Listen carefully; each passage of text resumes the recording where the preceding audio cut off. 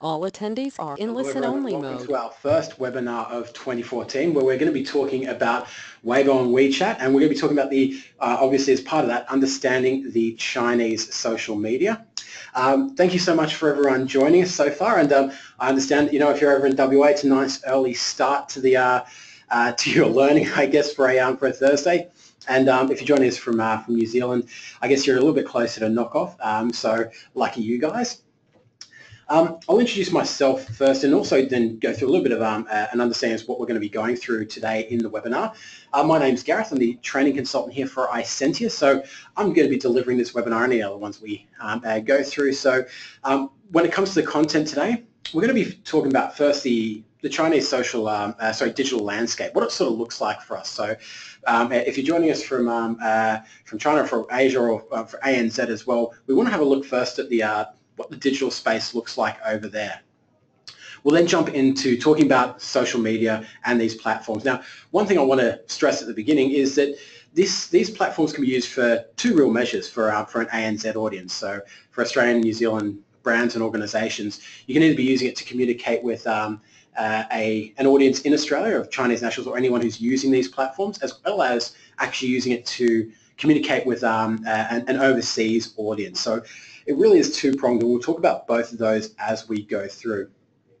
So we'll have a chat about Weibo and WeChat and what they look like, and um, I guess some of the some of the challenges, some of the opportunities with those platforms. Then we'll round it off with a little bit of a, you know, anything else you should know about um, uh, the content, etc., and some of the challenges you may face.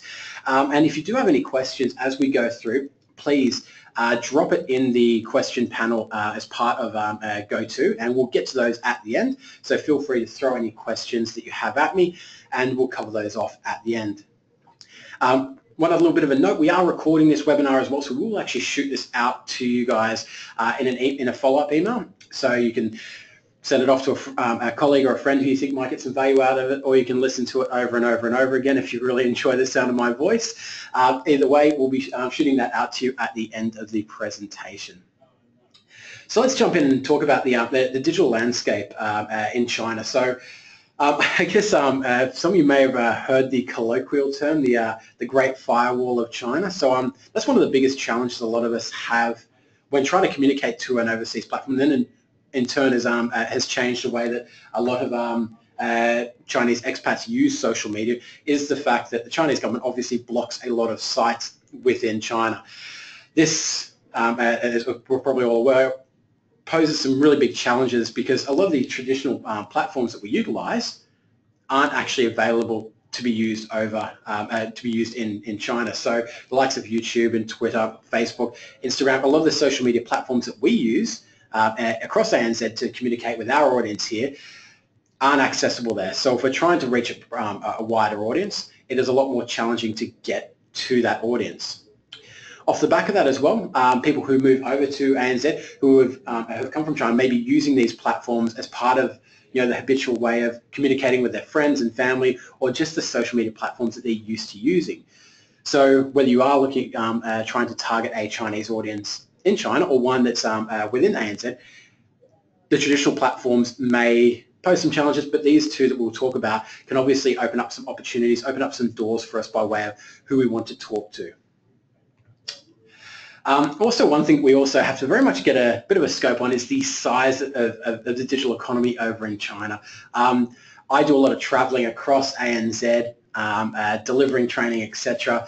And um, even uh, for the likes of when I'm in Adelaide and Perth, they often they often tell me, "Oh, you're from Sydney. Oh, I hear the traffic there is tremendous," and it is. Sydney traffic can be um, an absolute pain in the backside.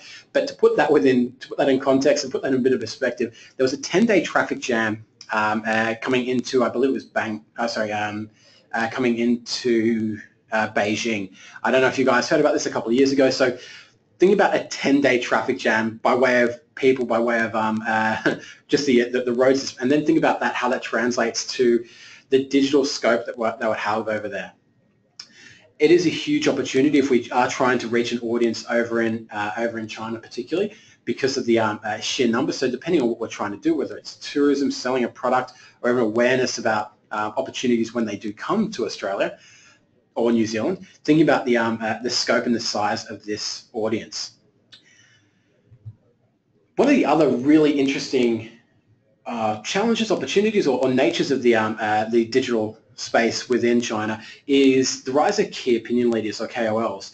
Now we we generally refer to these as influencers in uh, in Australia and New Zealand. So uh, we're obviously fairly familiar with the different types of influences. Um, Instagram has definitely given a rise to something similar to what we've seen in China, but the power of key opinion leaders is tremendous. Um, the one we're referring to here on this image is actually um, uh, in 2012, um, Queenstown, uh, well, New Zealand, New, New, Zealand Tourism and Queensland sort of got together to um, to try to promote Queenstown as an idyllic location for a wedding or even just a, um, uh, a, a, place to nick over to for a, um, a short holiday. And they um, uh, there was a bit of a sponsorship with um, Yao Chen, who is a they refer to her as the queen of Weibo, and so uh, huge following um, uh, on the platform, as well as um, uh, the fact that she's a, a, a well-renowned um, Chinese actress. And so by utilizing her her channels, her um, uh, impact on um, uh, on these platforms, it was incredibly tremendous for um, uh, for Queenstown and for um, New Zealand tourism in general to really get a bit more of a cut through in, in an audience and, and, really put Queenstown and New Zealand in a broader sense as a as a great tourist location, as a as a place to consider with your next overseas holiday. Obviously, I'd be biased. I'd say Sydney would definitely be the way to go, but it's a fantastic way of using uh, key opinion leaders.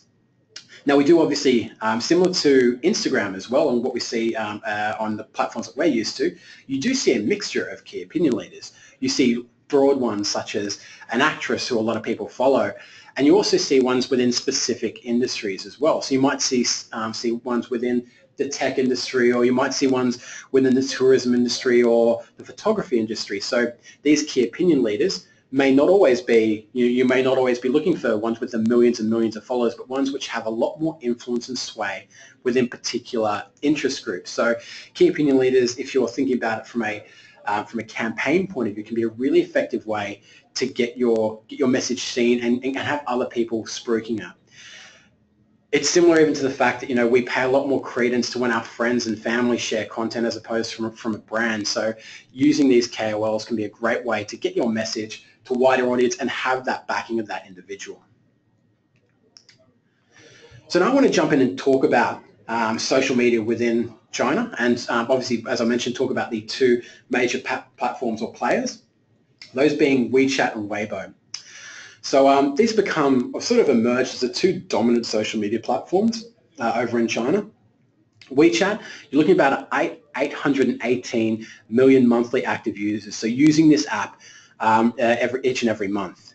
Uh, to put that in perspective, you're looking at about uh, 1.6 billion on Facebook. Uh, you're looking at about 600 million on Instagram. So really is quite a large platform um, and one which goes very um, uh, very much unknown by way of um, what we traditionally think of um, social media platforms. Uh, I will give you a bit of a, uh, a bit of an overall view of this. Weibo, we're referring to in this presentation, um, Weibo is, is Sina Weibo. So Weibo itself actually just means microblog. Um, and there were quite a few which sort of popped up um, uh, by way of being these social media microblogging platforms. But the one is, which has emerged as, I won't say clear winner, has been Sina Weibo. Uh, um, and so that's the one we're referring to, and that's got about 319 million monthly active users. So still a large audience, I'm sitting close to the numbers of um, Twitter's monthly active users. Um, and so I, I want to talk about how these platforms differ, and they really are chalk and cheese. It's similar to when we think about using platforms within an ANZ audience, we need to think about what the platforms can offer us, what the audience and demographics are like on those platforms, as to whether or not it's going to be a viable option for us. So I want to talk about the evolution of, of messaging. And so um, a lot of us have, you, I'm gathering, um, uh, have used um, uh, you know, some of the more well-renowned um, social media platforms like Facebook, like Twitter, perhaps like LinkedIn, which sort of sit um, up, up on the top left here of this graph. Uh, you know, you've got um, a high amount of contacts, but you may be, may be sending the messages a lot more infrequently. So you might be putting out one post a day or two posts a day on Facebook, um, but you've got a larger audience on those platforms. What we're seeing is um, a rise of some of these peer-to-peer messaging platforms. So the likes of um, uh, uh WeChat, the likes of um, uh, Snapchat, and even um, uh, WhatsApp, which is now, uh, which has been for a while owned by Facebook, and even um, Facebook Messenger. These are the sort of uh, platforms where brands and organizations can communicate a little bit more intimately with their, uh, with their audience. I'm not sure if you've um, uh, seen the changes when it comes to Facebook by way of uh, Facebook Messenger where chatbots, chatbots apologies for my pronunciation then, chatbots have been in, introduced as an incredible way to, to increase communications with individual Facebook users. So um, Sina Weibo sort of sits up there similar to Facebook and Twitter, and we'll talk about that because it is often referred to as the Chinese Twitter, and I'll sort of dispel a little bit of that. Whereas WeChat sits along with these um, uh, devices similar to, uh, sorry, these applications similar to Facebook Messenger, uh, WhatsApp or Snapchat. And in fact, it's a little bit more one-to-one -one communications. I'm not saying that either one of, uh, is better than the other. Once again, it um, depends on how you're looking at using these platforms. So I want to talk about Weibo first off, um, uh, and as mentioned, quite often referred to as the, the Chinese Twitter. Um, looking at about 100 million daily active users, so people jumping on the platform every day, and about 200 million searches each day. So I'm similar to uh, more so Twitter and the fact you can search the Twitter sphere to see what people are talking about, um, topics, etc. Um, you can do the same on Weibo. Splitwise, by way of demographics, you're looking at sort of a slightly um, a female-orientated market, whereas uh, and also a younger demographic, being um, uh, with 50% of the audience being between 18 and 25. It's not too surprising um, uh, given uh, given the nature of um, social media's uptake in China. So um, that's what this sort of looks like by way of the demographics and the usage of uh, of Weibo now this would look a little familiar. Now we'll, we'll put a, a, little bit of a caveat to this. This has been translated via Google Translate. And I'll come back to that at the end of the um, presentation about the impact of that. And we want to make sure we're actually obviously talking in the correct dialects on these platforms. So this is a, the homepage for Isentia's platform. Um, I want to cover off a couple of things. If you notice up there on the um, uh, on, on, the logo, on the Isentia logo, there, there's a, a, blue tick, a verified tick, and so really encourage it when um, uh, when we're using these platforms from a organization or a brand point of view, verification is very important by way of what it allows you, but also uh, if you're XYZ brand or uh, a government organization, whatever the, um, uh, whatever the situation is, you'd want people to know that it's a verified account because obviously um, you can create an account under any name, so we want to make sure we verify that account, get that blue tick and show authenticity. Now it does work a lot it, it, does the platform itself looks a lot similar to Twitter and what we've used Twitter for. But um, that being said, uh, the character limit, so Weibo used to have a character limit of 140 characters. That being said, these are Chinese characters, whether they're traditional or, um, or simplified Chinese.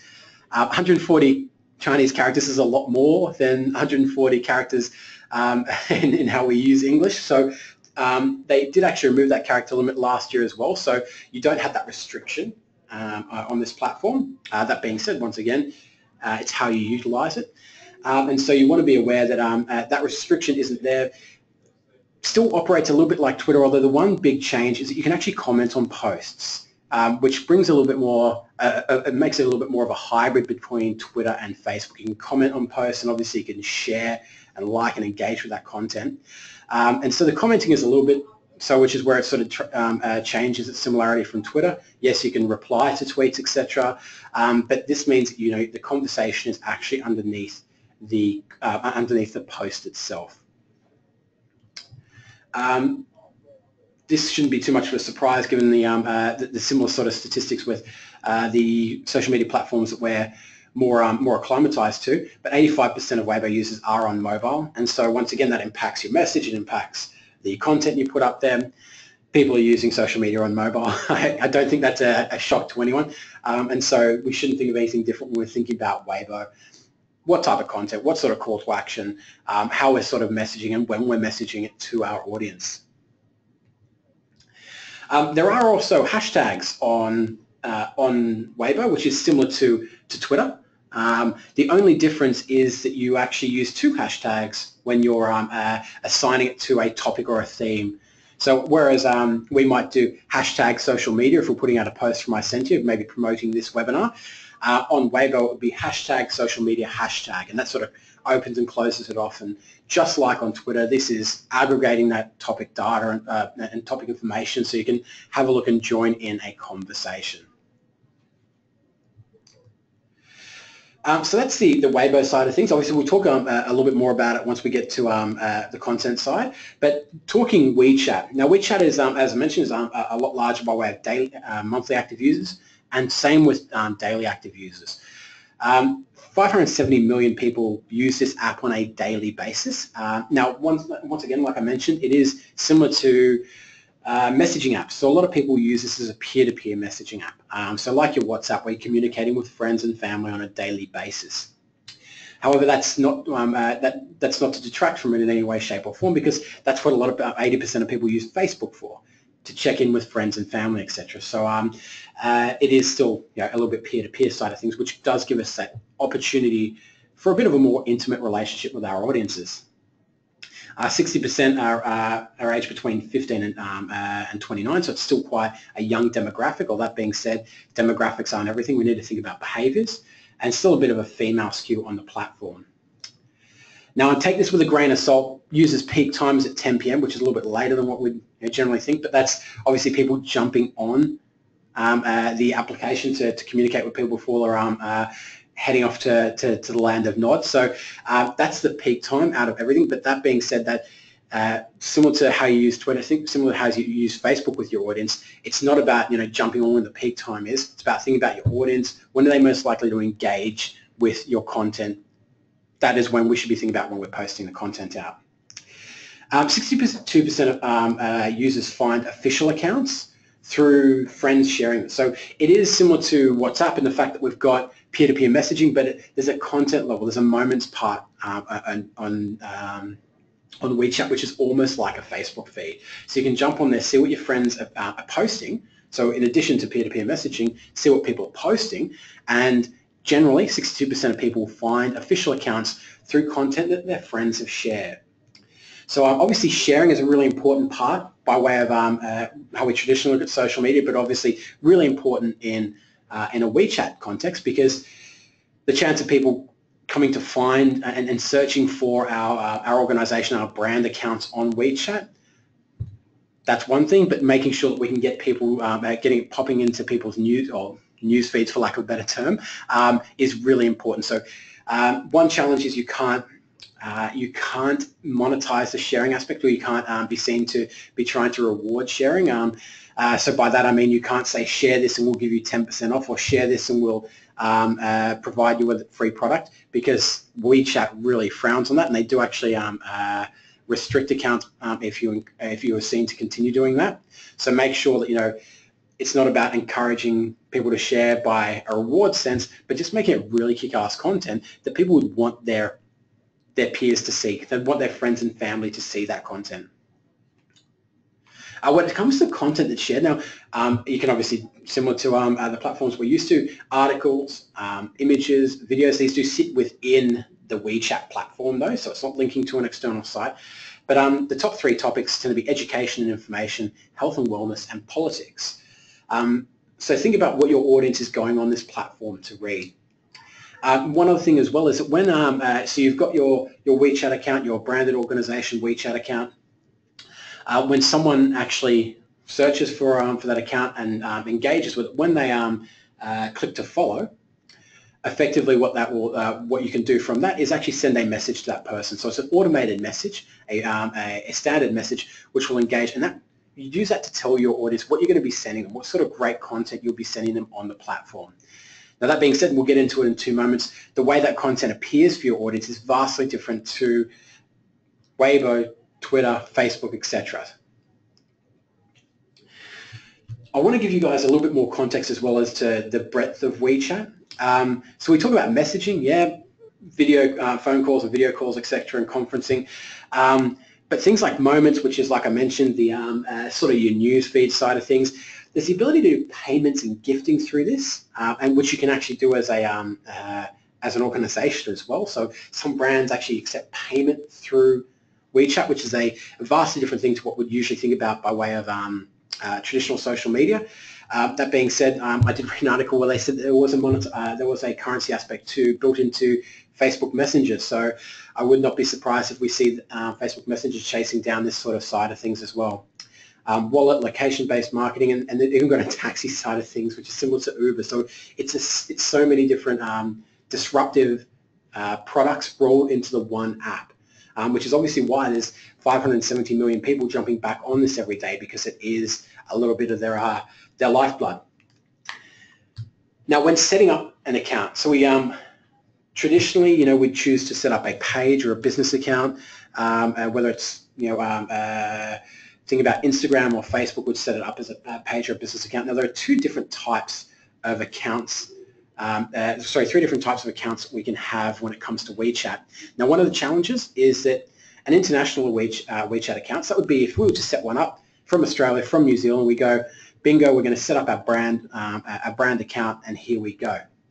Now, you can um, uh, you can talk to any people outside of China, but you cannot communicate with people who are identified as living within China you would need a Chinese WeChat, account. So if you had an international WeChat account, you could still communicate with um, any of the WeChat users in Australia and New Zealand, and that is a growing demographic as well as people using that platform within Australia um, and New Zealand. But if you want to communicate to people within China, so you do want to use it for demand generation, whatever the case is, you're trying to um, talk to a Chinese uh, uh, audience within China, you would actually need to have a, China, a Chinese WeChat account. Now, what that means is that you actually have to have a premises within China, so you technically have to have a business or a, a, an organization head there, so an office location. Alternatively, there are marketing organizations who can do this on your behalf. So if you want to talk to and communicate with an audience within China, you need that second account. And you do need to think about this before you get going. Now I mentioned there are three types of um, WeChat accounts off the back of that. Uh, we'll, on the right there, we've got the enterprise account, which is sort of more for um, organizations. We're going to ignore that for the sake of this. Um, we're going to talk about subscription accounts and service accounts. And once again, you do need to choose this from the get-go. Um, you can't change it. Um, you, can't, you can have one subscription and one service account, but obviously it's just the same as having a Facebook, uh, several Facebook accounts or Twitter accounts. It does mean you need to manage, etc., and monitor. So it does, does become a little bit more challenging. So what is the difference? So a service account is effectively, it's a little bit more restricted in the amount of messages you can send your audience. You can only do four broadcast um, messages per month. But the difference is they'll actually get a notification. So similar to if their friend had messaged them saying, hey buddy, um, what time are you coming to di dinner? They would get a push notification that your brand or organization has messaged them. A subscription account, you can send one message per day. However, all subscription accounts are actually held within that one folder. So as, as an example, if, um, uh, if, a user has, a follow, is following, say, 10 different subscription accounts from government organizations to brands to news, etc., they would have to go into their subscription folder and then they would see your messages in there. So once again, that's a difference. One is um, they need to sort of seek out your content within the folder on the application versus the service account where it's actually getting pushed out to them. Um, it also, uh, the service account also does provide you some custom menu support. And so what that means is similar to that chatbot bot aspect, where people can begin to, to chat with an automated level. You can go in there and respond to them from the messages. So um, a user can message your, um, uh, your service account ask you a question about your organization, whatever the case is, however, uh, whatever questions we may even possibly get through um, Messenger on Facebook at the moment. But you can also have automated responses to that based on keywords. So um, uh, as an example, um, if it is a brand, it might, um, uh, in their message, they may say um, uh, they may say the word of price and you could then respond with a piece of content that has the pricing information in it. So you can automate a lot of this, but obviously it does also mean you can go back and engage with your audience in a rich one-to-one environment. So they're the two different accounts. So you do need to think about that before you set up. Um, and, and we'll go into goals um, uh, in two moments because we really need to make sure we are thinking about what we're trying to achieve before we jump onto one of these platforms. Now, um, little bit of a, it's a bit of a scope as to um, how WeChat see people using their um, uh, their platform, their app, and I won't go into this in too much detail, but effectively they see people using WeChat across the day, from whether they jump, wake up in the morning and want to jump and um, uh, jump straight on and browse the moment, see what their friends have shared, etc., through when they're paying for their coffee, um, using it in the lunchtime break to read more articles on the um, uh, on the commute home, all these different things. WeChat sees it as a constant engagement throughout the day.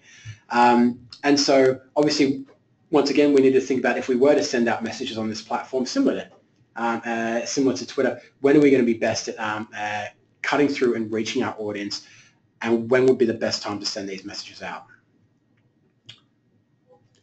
So that's a look at those two platforms from obviously a very um, uh, uh, top-down sort of look at it, what, what these platforms can do and what their um, uh, challenges and how they'll be utilised.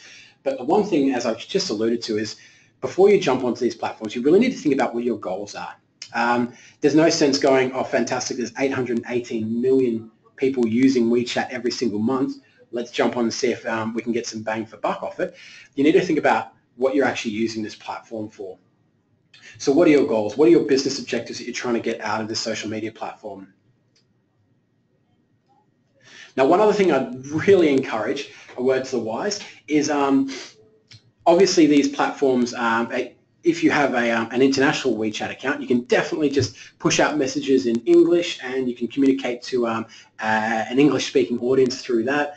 Um, but obviously, if you're using Weibo or WeChat to communicate with a, uh, a, a, Chinese audience, whether they are in China themselves or whether they're um, Chinese nationals living within ANZ, you'd want to tend to communicate in their uh, in, in, in, that language, whether it's traditional or simplified um, Chinese. So one thing you want to definitely make sure is translation. Translation is on point. Um, I'm sure we've all seen a post on Twitter, on Facebook, and the grammar's been incorrect or the spellings um, uh, been out of whack, or maybe even the syntax, and maybe even the way that put that sentence together is completely, completely strange. We had a little bit of a giggle and thought, geez, they don't really know what they're doing. It's same on these platforms. You want to make sure that when you're translating your content from, from English into simplified or um, traditional um, Chinese, you want to make sure that it, it says what you want it to. Now on screen, I've got a great example of um, one of the biggest foul-ups, for lack of a better term, um, was um, some uni students uh, uh, when um, uh, Star Wars, the, the third one of the third one of the second trilogy, so to say, came out, and they ripped it off. They decided they wanted to throw some subtitles through it uh, instead of going to the cinema and distribute it that way. Now, because they used um, Google Translate, let's just say the meaning and the context of the movie wasn't exactly put through, and it was actually it became almost a little bit of a cult hit in the way how strange the, the, language became because it was just using Google Translate. So if you are going to be using this to communicate um, uh, to a Chinese audience overseas or locally, in that language, make sure that you've got it right. Make sure that you're actually using um, a, a, native, uh, someone who can speak um, speak it as their native tongue, because otherwise you're really going to miss the mark with some of the messages you're trying to put out. The other thing is content as well. Now there are some really big differences, obviously, by way of um, uh, obviously cultures are different um, uh, by ANZ to China. So you want to think about the, the way that content sort of um, appears over there. For example, if you look at Weibo, there's a lot of emojis used even in the posts, which is something that we wouldn't generally dream of too much in a, in a Facebook post from a business or an organization here in, a, in ANZ. And so you want to make sure that, you know, um, that your, your, your, content is sitting right. Now, this is just an example of um, British Airways when they started flying direct into China. They actually um, pretty much made one of their um, uh, planes, they dressed up made it look like a panda. Really cute, really um, unique, and that went gangbusters across um, Weibo. Got shared an awful lot, so it wasn't offline activation that um, was used on the platform, but it was a really cute, really kitschy sort of aspect. So you, you want to make sure your content is audience appropriate. Um, regardless, when we're thinking about the content on this platform, we want to want to make sure that you know we've either got humour, similar to the British uh, Airways side of things, emotion, regardless of um, uh, uh, any social media platform, we want to think about the emotion that we're putting into it to really get our, our, our, content resonating with our audience. Obviously, that will increase the ability it's going to be shared and also some value. And now I don't mean, we've obviously got a dollar sign there. I don't just mean value by way of a discount or a freebie. We mean value, entertainment, inspiration, education, whatever it is. It's got to be valuable to your audience. Um, if you're putting all this effort into um, uh, to utilizing one of these platforms to communicate with a new audience, don't just sit back and use it from a broadcast point of view, um, throwing out dull media releases, etc. Make sure that you, um, it's, it's phenomenal content that's going to get you that goal. Why are you on this platform? Brilliant. Let's make sure that the content sits well within that, uh, uh, within that idea.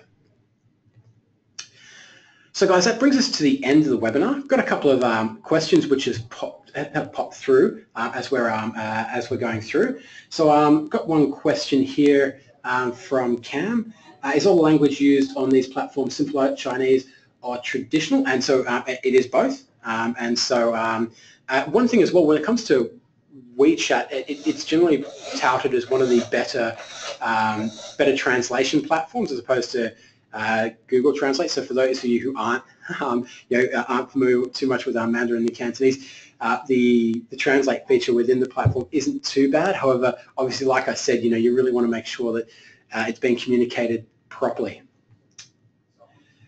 Cam's hit me with another one. In terms of monitoring these platforms, uh, how much of it is available to us, i.e. not locked behind privacy settings?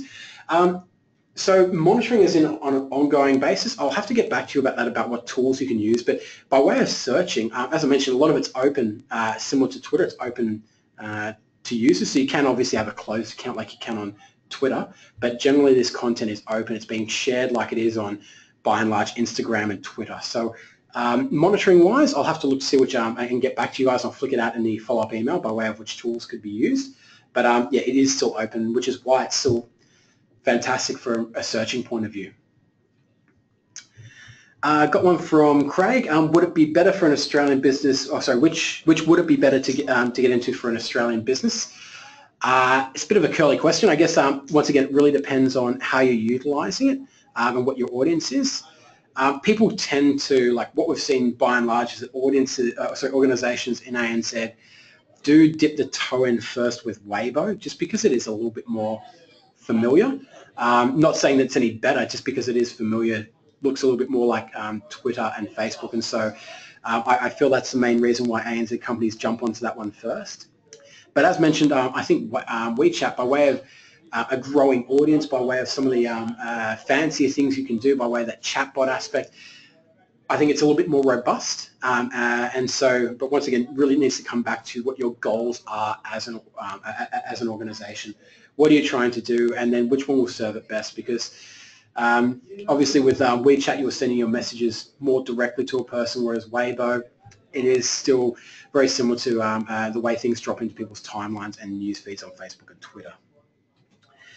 Uh, Jen, how often should we post on these platforms? Um, so I guess um, when it comes to WeChat, uh, depending on the uh, type of account you get, you can only, a maximum you can post is once per day on WeChat, regardless of, uh, um, when I said with that subscription account, you get to um, uh, use one broadcast message per day, um, you can't save that up. It's not like um, Optus prepaid rollover credit or anything like that. You've got one per day. Um, and so, uh, and on the subscription account, side of th- sorry, in the um, service account, you got four per month. So that is a maximum. So you have got to make sure they count, they matter.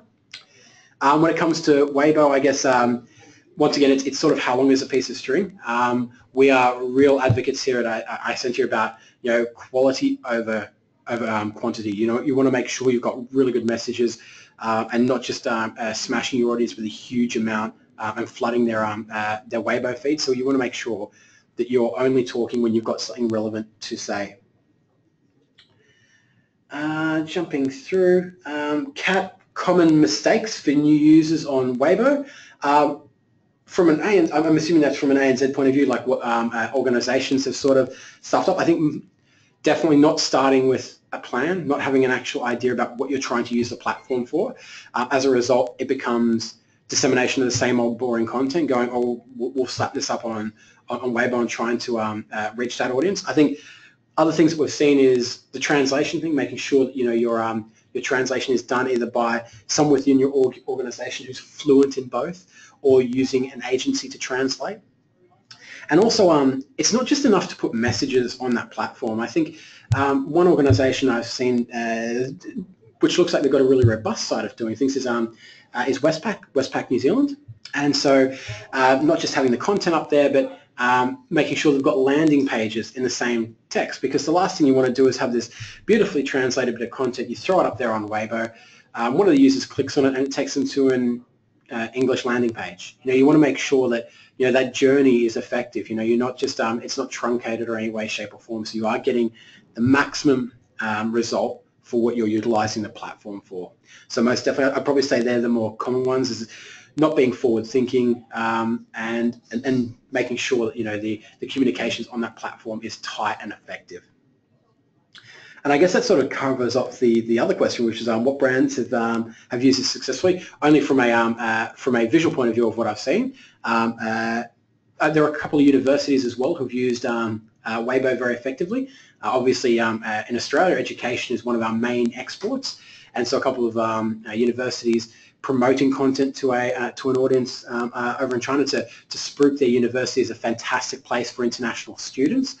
and so, just like any platform, there is the ability to use paid content. Um, so, um, the universities in Australia, I for the life of me, I can't remember which one it was. One based in um, in Melbourne um, used it very effectively to promote content out um, uh, to an audience in China. But once again, they had all the systems set up. They had um, you know um, uh, platforms and landing pages that were in um, the same language, so that conversation, that that user journey, if you will, um, was consistent and tight. Fantastic, guys. Well, that brings us to the end of um, uh, the webinar. So thanks so much for joining us. Thank, thanks so much for the um, for the fantastic questions as well. As I mentioned, we will follow um, throw out a follow-up uh, email off the back of this and look forward to seeing you on any of our webinars that we hold in the future. Thank you so much for joining us, guys.